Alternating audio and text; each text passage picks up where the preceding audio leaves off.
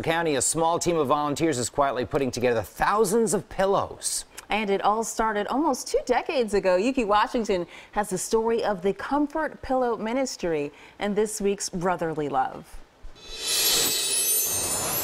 This room is filled with the sounds of cutting, hole punching, and especially sewing. You want to hear those machines going. this is Joyce Cook's baby.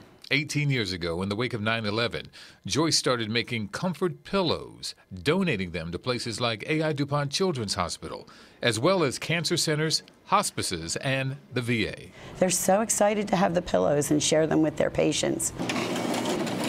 Once a week, a small team of volunteers, including Joyce's husband, pieced together the pillows at United Methodist Church in Hockessin.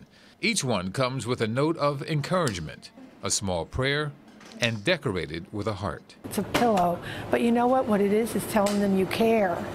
It's more than just a pillow. On this day, Donna Leo was handling the stuffing. Oh, I, lo I love the pillows. They're colorful, bright, and it, they seem to work. It, feel, it makes you feel really good, like you're doing something for someone that's in a bad situation. Joyce and the volunteers have been flooded with donations as word of the project has spread. Her daughter Elaine says, I've run into people who say, Your mom's the comfort pillow lady.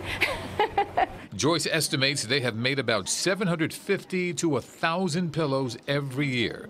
She did the math. Each pillow takes only a dollar and 20 cents worth of supplies.